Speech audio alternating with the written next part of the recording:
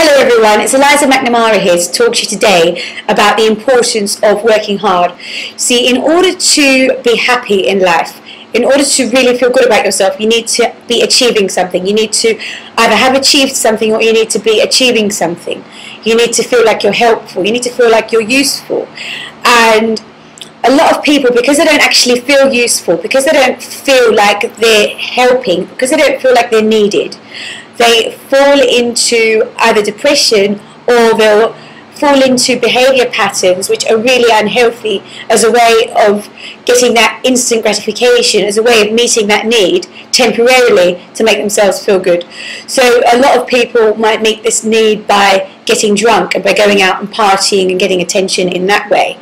And a lot of people will get this need met by being egotistical. So, for instance, if you're quite flirtatious, if you're constantly flirting with people, then that might be because deep down you're actually really insecure and you actually feel like you're you don't have enough value as a person. You're not contributing enough to society or to your work or in the way that you ideally feel that you could be and should be. And so you constantly fill yourself up with this egotistical stuff. And I was talking to this girl today, and she was telling me about this guy that she's seeing, and uh, about how he's really gorgeous and he's really attractive, but he's also really insecure. See, a lot of people who are attractive become, if unless they have something in their life that they're achieving, that they feel good about, that makes them feel like they're doing something productive with their life, they can become very, very insecure and dependent on their looks as their thing to make them feel good, as their validation. Because everyone needs to feel validated. And you have self validation, which comes from being true to yourself, from following your dreams, and from doing what you truly want to do with your life. And then you've got external validation, which comes from other people giving you approval for things. And you can get approval for being a great skater, you can get approval for being a great runner, you can get approval for being a great conversationalist. You know, there's all sorts of ways to get this approval. But ultimately, you need to approve of yourself and you need to be happy within yourself. And if someone's really insecure, but they try and cover this up with this egotistical behavior, this is often what's going wrong. And often people need to have real love in their life. Because if you've got love in your life then it balances things out. Because if someone is has got love in their life and they're working hard and they've got love that love drives them to continue and to focus. Because if you're going to work hard you generally need to do it because you're achieving and you want to get attention and you want to get this validation from other people or because you want to help people and you want to contribute to society and you want to make a difference and you want to make people happy so it's generally for both of these reasons and, and sometimes it's for one more than the other but I think that what happens is if people don't feel like they're helping, people don't feel like they're needed, then this ego kind of takes over. And you know, where I live, you know, there are a lot of single people all living in one concentrated spot. And it's really interesting seeing the different levels of egotistical behavior amongst people. I notice the people who have got love or who have work that makes them feel loved are far less egotistical, they're far more balanced, they're far more normal, they're, they're a lot calmer. And the people who don't have love and who don't feel loved, for whatever reason, tend to be quite egotistical and sometimes extremely egotistical, depending on how loved they feel. And also, somebody could have all of the love in the world, but if they're not loving themselves, this could also be an issue. So you need to love yourself as well. And a lot of people, like their relationships appear to be really, really healthy, but they're actually really not. And so, like, you think they have love, but they actually really don't.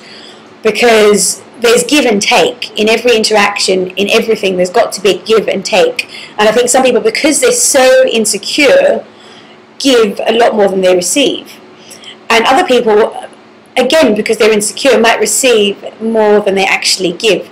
And there's all sorts of ways of balancing this out. But the way that I've found to be most effective in having balance in one's life is to be honest with oneself and to also allow other people to be honest with one as well because you, you can be honest with yourself all you want but sometimes you need an objective third party to be brutally honest with you and that's where real friends come in real friends family who really genuinely care who are not afraid to tell you the truth can help you so much. Because when people are honest with you, you can fix something. But you yourself might not actually see something on your own. You might need a real friend to pull you up and go, hang on a minute, what are you doing? And that can go a very, very, very long way. And I think sometimes people are so caught up in being busy and being productive and being active and becoming successful and getting their validation that they don't actually have the time to be self-aware so it really helps in those situations if you have somebody genuine tell you what's going on and make you aware of these things because no one's perfect but we all like to think that we're perfect and we all like to think that we're better than we actually are and there's all sorts of behaviors that people fall into to try and convince themselves of this. And if they're not like that, they're often really, really insecure. So some ego is actually a really good thing. Some ego is fantastic. But, you know, like with everything, there's got to be a balance and there's got to be some awareness there. And that's why it's so important when someone is honest with you, when someone does give you constructive criticism, that you respond to that and you actually take that on board and obviously, you know, sometimes you've just got to ignore people because some people are just downright mean. But if someone's giving you constructive criticism, then you need to take it on board. And it can help you to become a better person. It can help you to become your best self. And that is the greatest gift of all. But that obviously takes hard work. And most people don't want to work hard at improving their character. They work hard most people work hard every day.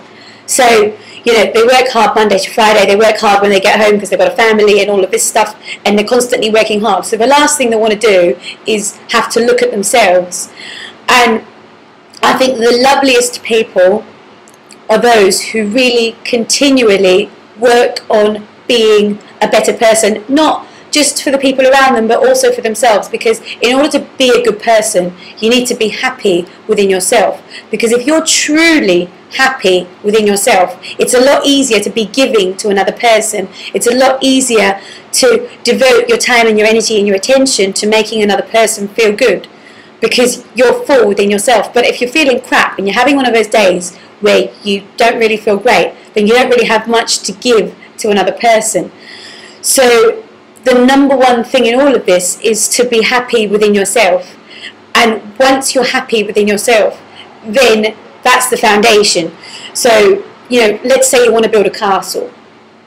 And let's say building the castle is the equivalent of achieving your dreams. In order to build the castle, in order to even lay one brick, you've got to make sure that the ground is stable. And in order for that ground to be stable, one has to be happy within oneself. And a lot of people because there's so much stuff going on, convince themselves that they are happy within themselves, but you can tell that they're not because if they're on their own for even five minutes, they start to go crazy. They need to have something going conversation, the radio, the television, something. They can't handle silence. They just can't take it. They can't handle being on their own. And if you're happy within yourself, then you'll be able to spend time on your own and you'll be able to appreciate your own company. That is the number one thing of a person who's happy within themselves. That's the number one thing to look for. Is this person capable of spending time on their own? Is this person capable of doing things on their own without five of their friends? The bigger the group, the weaker the individual Uh, I'm not saying people shouldn't be in groups. I'm not saying people shouldn't go out in groups. But if somebody's always in a group and they always need to be in a group and they have to be in a group, if they're out, then that person is generally very weak. And this is because these people often have to sacrifice who they are in order to fit into the group. And we all need to sacrifice. We all need to make sacrifices if we're in a group in order to just, you know, it's just something you have to do. It's part of life. But if you have people around you who you have a lot in common with, then you won't be making that sacrifice as much.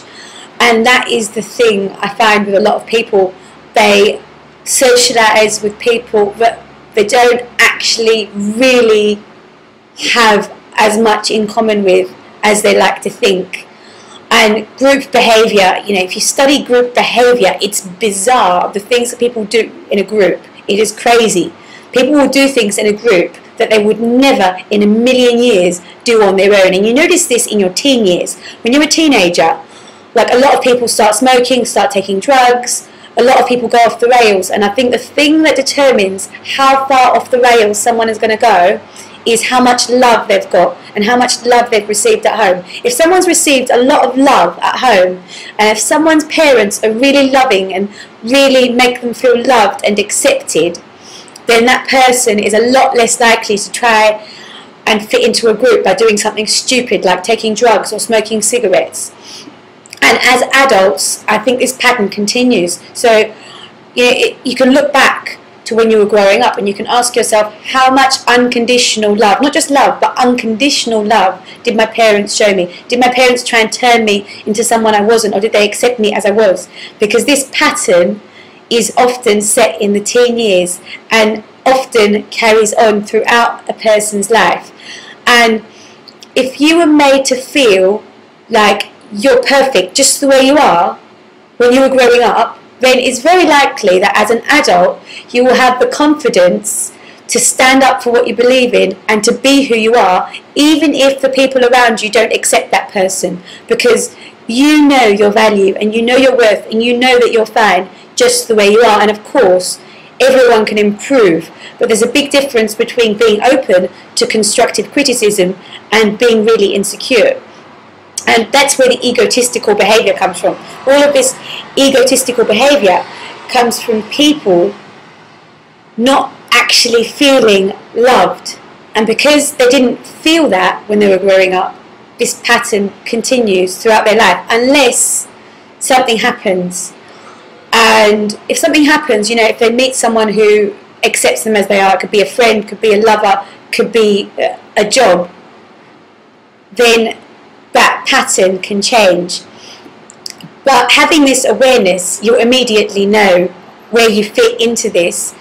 And if you actually take the time to be self aware and you take the time to be on your own and step out of your group, step away from the television, step away from the radio, you can actually really look at yourself and be honest with yourself and figure out what it is that you can do to be even happier. Because you might be happy, but you might not be really happy. You might just be convincing yourself that you're happy. And that is the worst kind of happiness because unless you can actually really admit that something's wrong, then how can you fix it? You can't. So, first, you've got to be really honest with yourself. And also, another thing I've noticed is people can get used to anything. We're very, very adaptable. Back in the day, we had to be adaptable because it wasn't easy you know, a thousand years ago, 500 years ago, surviving was our number one priority. But now we don't need to worry about survival. Now we can think about what we want. We can have what we want because of technology and all of these advances that we have. It's amazing. But I think that a lot of people settle because of the way that we're built. We're built to adapt and we're very, very capable of adapting to pretty much any situation, no matter what we might think. So I think if you're aware of how you've adapted and how you've compromised what you truly want in order to adapt, then you can actually be free to create something new. Because if you are suddenly put into a situation that is much better than the one you were in a month ago, then initially you'll be extremely aware of how happy you are and you'll be extremely aware of all of the differences and all of the improvements. But over time, you can become used to those things and you can become almost commonplace with those things and you stop appreciating them as much. And then you find that you want more.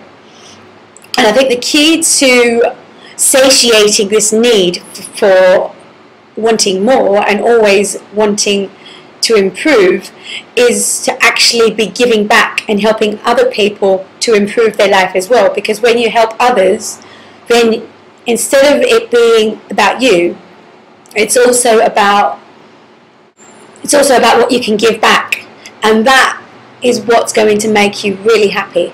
Because if you're happy within yourself and you're also giving back, then that's complete balance. That's everything you could possibly want in a nutshell. You couldn't possibly want more than that because if you're happy within yourself and you're continually improving your life and working towards what you want and you're also helping others, then that's it.